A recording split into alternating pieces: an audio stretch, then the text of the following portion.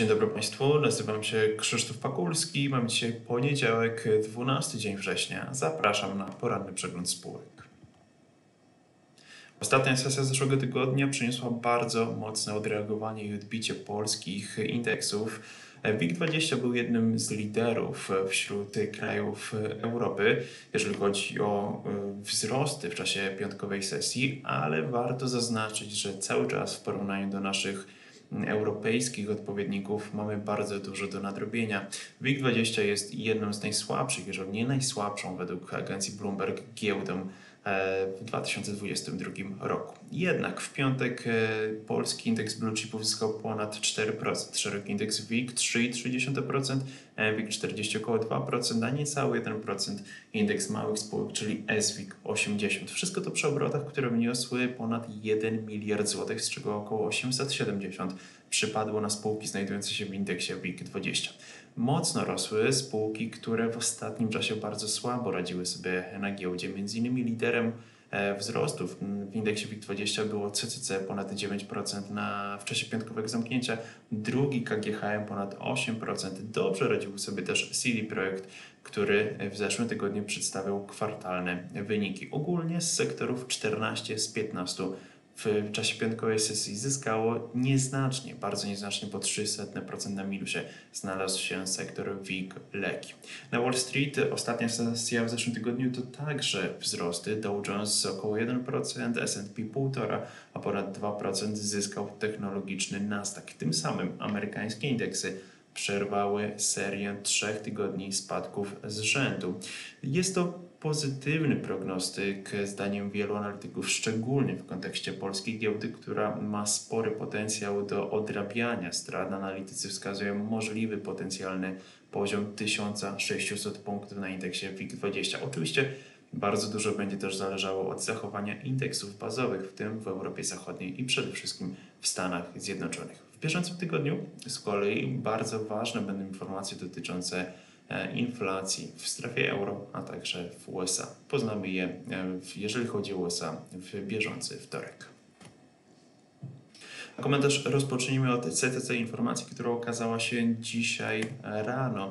Możliwa będzie emisja 14 milionów akcji serii L po 35 zł 16 groszy za sztukę. Jest to cena poniżej piątkowego zamknięcia, która przypadła blisko granicy 38 zł. Akcje w ramach subskrypcji prywatnej miałyby zostać skierowane do spółki Ultro, której założycielem jest największy akcjonariusz i założyciel CCC Dariusz Miłek, były prezes CCC, obecnie przewodniczący Rady Nadzorczej.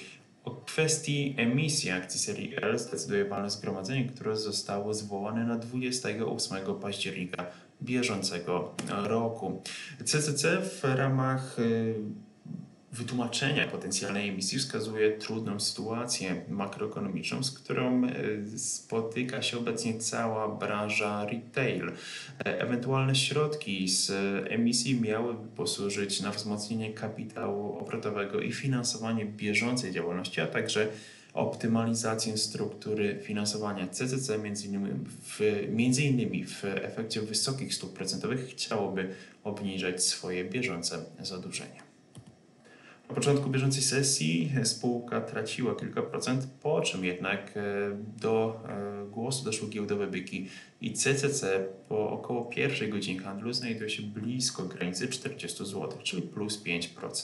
Jednak warto podkreślić, że panuje na tych akcjach obecnie bardzo duży wolumen i bardzo duża zmienność drugi PKN Orlen i spółka zależna Baltic Power, która poinformowała, że podpisała szereg umów wykonawczych, projektowych związanych z morskimi farmami wiatrowymi. W kolejnym czasie mają e, zostać podpisane kolejne umowy, które mają pozwolić na rozpoczęcie inwestycji w 2024 roku, bowiem już w 2026 roku PKN Orlen chce e, korzystać z zeroemisyjnej energii, które te farmy wiatrowe mają e, produkować. PKN Orlen jasno podkreśla, że morskie farmy wiatrowe są strategicznym elementem e, koncernu, który dąży do neutralności emisyjnej do 2050 roku.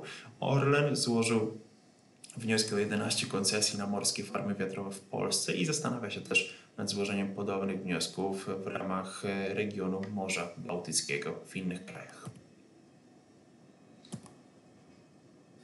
Trzeci dzisiaj ATAL, czyli sektor deweloperski. Spółka mm, obecnie szacuje sprzedaż mieszkań w całym bieżącym roku na 2000. Na początku bieżącego roku ta prognoza zakładała 2,5 tysiąca mieszkań. To 500 mieszkań mniej. To m.in. efekt wysokich stóp procentowych, co dosyć znacząco zniechęca konsumentów do brania kredytu i kupowania nieruchomości, ale też przede wszystkim wybuch wojny e, na Ukrainie który miał miejsce pod koniec lutego. Spółka podkreśla, że priorytetem jest dokończenie rozpoczętych budów, a także osiedli i zaznacza, że średnioterminowa marża brutto ma wynieść około 25%. Ta marża w drugim kwartale spadła poniżej 20%, ale spółka zakłada, że w bieżącym półroczu wyniesie powyżej 25%.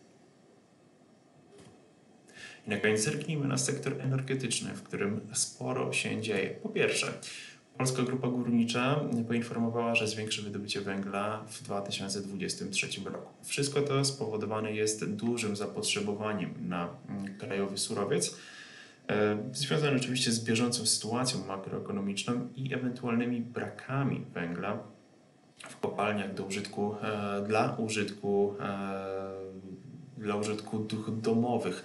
Spółka podkreśla, że w związku z, ze zwiększeniem wydobycia węgla zwiększą się też inwestycje w przyszłym roku już o 2 miliardy złotych więcej niż wcześniej prognozowano.